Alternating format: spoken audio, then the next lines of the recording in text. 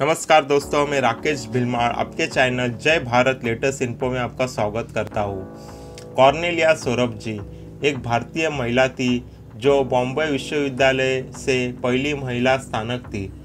Oxford university में कानून का अध्ययन करने वाली पहली भारतीय महिला थी।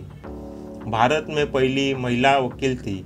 भारत और ब्रिटेन में कानून का अभ्यास करने वाली पहली भारतीय महिला थी। 2012 में लंदन के लिंकन इन में उनकी प्रतिमा का अनावरण किया गया था।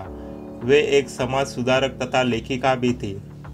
15 नवंबर अठारह को नासिक में जन्मी कॉर्नोलिया सौरभ जी अठारह में नागरिक कानून की पढ़ाई करने के लिए विदेश गई और अठारह सौ चौरानवे में भारत लौटी। उस समय समाज में महिलाओं मुखर नहीं थी और न ही महिलाओं को वकालत करने का अधिकार था।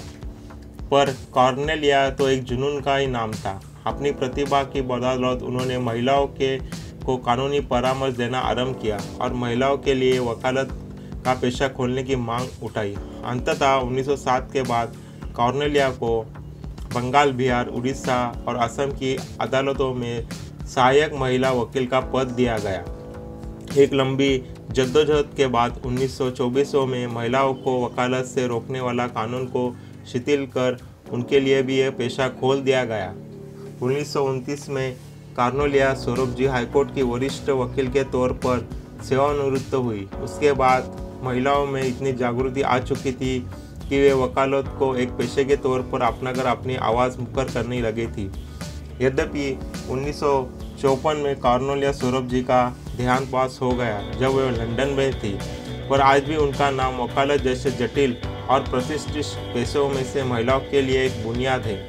तो दोस्तों, अगर मैं ये मेरा वीडियो आपको अच्छा लगा होगा तो लाइक बटन पर ज़रूर प्रेस कीजिए और मेरा चैनल जय भारत लेटेस्ट इनको सब्सक्राइब करके नोटिफिकेशन बेल को ज़रूर क्लिक कीजिए। तो चलो मिलते हैं दोस्तों मेरे अगले वीडियो में। जय भारत।